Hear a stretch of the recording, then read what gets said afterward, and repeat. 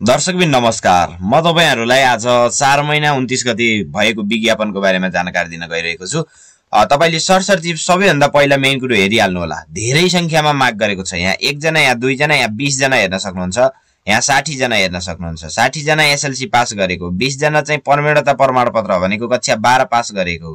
त्यसै गरी दुईजना चाहिँ स्नातक उत्तर तथा स्नातक ब्याचलर पास गरेको र यो चाहिँ मास्टर्स पास गरेको भनिरहेको छ। यहाँ पनि मास्टर डिग्री भनिएको छ यहाँ पनि मास्टर डिग्री भनिएको छ।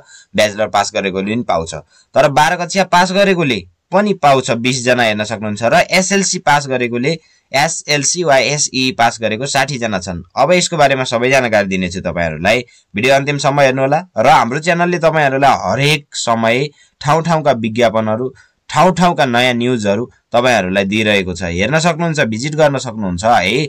र नयाँ हुनुहुन्छ भने हामीसँग जोडिनु होला सब्सक्राइब गर्नुहोला हाम्रो च्यानललाई हाम्रो साथी बन्नुहोला भन्न चाहन्छु। म भिडियो सुरुवात गर्न गएँ नेपाल राष्ट्र ब्याङ्कबाट घ वर्गको वित्तीय कारोबार गर्न इजाजत पत्र प्राप्त राष्ट्रिय स्तरको यस कालिका लघु वित्त वित्तीय संस्था लिमिटेडको केन्द्रीय कार्यालय तथा शाखा कार्यालयहरूका लागि तफसिल बमोजिमका पदहरू खुल्ला प्रतिस्पर्धाबाट कर्मचारी स्थायी पदपूर्ति भनेको तपाईँ साठी वर्ष नपुङ्जेल तपाईँले मजाले काम गर्न पाउनुहुन्छ। स्थायी कर्मचारी खोजिरहेछ।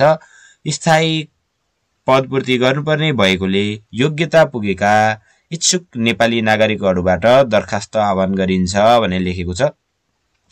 फर्म भर्दा तपाईँले विज्ञापन नम्बर एकको लागि यो पदको लागि एकजना कोटा मागेको छ। त्यसमा चाहिँ मैले विज्ञापन दिएको छु भनेर लेख्नुपर्छ। म सिकाउँछु सबै कुरा तपाईँहरूलाई। अन्तिमसम्म हेर्नुहोला बिस्तारै। यो सहायक प्रबन्धको लागि एकजना तर स्नातकोत्तर भनेको मास्टर डिग्री गरेको हुनु पर्यो। वित्तीय संस्थामा चार वर्ष काम गरेको हुनु पर्यो। अनुभव खोज्यो। यसै गरी दोस्रो नम्बरमा हेर्न सक्नुहुन्छ अधिकृत छ दुईजना। यसमा पनि मास्टर डिग्री गरेको हुनु पर्यो। कनिष्ठ अधिकृत पदमा दुई वर्ष काम गरेको अनुभव छ भन्ने त्यस्तो भनेको छ। अनुभव खोज्छ यो अधिकृत लेभलमा। यो सहायक लेभलमा हेरिहालौँ। सब सरसर्ती गएर बिसजना खोजेको छ। प्रवीणता प्रमाणता उत्तीर्ण भनेको बाह्र कक्षा पास वा एसएलसी उत्तीर्ण भनेको एसई एसएलसी उत्तीर्ण गरेको र निकटतम तल्लो पदमा न्यूनतम दुई वर्षको कार्य अनुभव भएको सहायकको लागि चाहिँ सहायक भनेको सहायक अधिकृत हो। बिसजना खोजेको छ र दुई वर्ष कार्य अनुभव भनेर खोजेको रहेछ। साठीजनालाई अनुभव खोजेको छैन हेर्न सक्नुहुन्छ। कनिष्ठ सहायक। एसएलसी उत्तीर्ण। या एसई परीक्षामा कम्तीमा D plus grade one point six zero GPA प्राप्त गरेको हुनुपर्नेछ। साठीजना खोजिरहेको छ। र यो विभिन्न शाखा कार्यालयहरूमा भनेको तपाईँको धेरै जिल्लाहरूमा पर्न सक्नुहुन्छ। सकेसम्म आफ्नो यो लघुवित्तहरूले आफ्नो एरियामै राखिदिने काम गर्छ। आफ्नो वरपर गाउँ समाज टोल कहाँ हुनुहुन्छ त्यहाँ नै तपाईँको त्यहाँ लघुवित्तको शाखा छ भने त्यहाँ काम गर्न सक्नुहुन्छ। उमेरको हदको बारेमा जानकारी गराउँछु अब। विज्ञापन नम्बर एकका लागि दरखास्त दिने अन्तिम मितिसम्म पैँतिस वर्ष पुरा भई पैँचालिस ननागेको हुनु पर्यो। पैँतिस पुरा भएर पैँचालिस ननागेको। विज्ञापन नम्बर दुईका लागि एक्काइस पुरा भएर चालिस वर्ष ननागेको हुनु पर्यो। विज्ञापन नम्बर तिन र चारका लागि अठार वर्ष पुरा हुनु पर्यो पैँतिस वर्ष नागेको हुनु भएन भने लेखेको छ। र यो सबै उमेरमा महिलाको लागि पाँच वर्ष थप हुन्छ। महिला हुनुहुन्छ भने पाँच वर्ष थप हुन्छ भनेको छ। वित्तीय संस्थाको बहालवाला कर्मचारीलाई उल्लेखित उमेर हद लाग्ने छैन। अब वित्तीय संस्थाबाटै आन्तरिक लड्छु भन्यो भने उमेर हद लाग्दैन भनेको छ। धेरै राम्रो कुरा हो यो। अब थप जानकारीहरू बुझ्नु होला। माथि उल्लेखित सबै पदहरूका लागि कम्प्युटर सञ्चालन सम्बन्धी राम्रो ज्ञान भएको हुनुपर्छ। कम्प्युटरमा तपाईँले ओड एक्सल पावर पोइन्टहरू चलाउन जानेको हुनु पर्यो सवारी चालक अनुमति पत्र प्राप्त भएका उम्मेदवारलाई गणायता दिनेछ भनेको प्राथमिकता दिइनेछ भनेको छ। आवेदकले आफूले दरखास्त दिने पद खुलाएको निवेदन सहित हालसालै खिचिएको फोटो स्वयं प्रमाणित बायोडाटा शैक्षिक योग्यता अनुभव र नेपाली नागरिकताको प्रतिलिपि निम्न ठेगानामा पठाउनुपर्छ भनेको छ। तपाईँले यसमा जब गर्नको लागि के के गर्नु पर्यो भने यहाँ तिन नम्बरको राम्रोसँग हेर्नु होला। आवेदकले आफूले दरखास्त दिन चाहेको पद भनेको पद कुन हो? नम्बर वान अधिकृत हो कि दुई नम्बर अधिकृत छ कि त्यहाँ तिन नम्बर सहायक छ र चौथो चौथो के छ? चौथो पनि कनिष्ठ सहायक छ। कुनमा हो तपाईँले दिन खोजेको? त्यसमा यो म पदमा यो कनिष्ठ सहायक पदमा भनेर लेख्नु पर्यो। निवेदन सहित भनेको आफ्नो बारेमा लेख्ने र म चाहिँ यो कनिष्ठ सहायक पदमा जागिर गर्न चाहन्छु। विज्ञापन नम्बर यतिमा मैले चाहिँ शैक्षिक योग्यता यो रहेको छ र मेरो यस निवेदनलाई स्वीकार गरिदिनु होला। म यो ठाउँबाट तपाईँलाई यहाँ निवेदन गरेको छु भनेर लेख्ने एउटा निवेदन।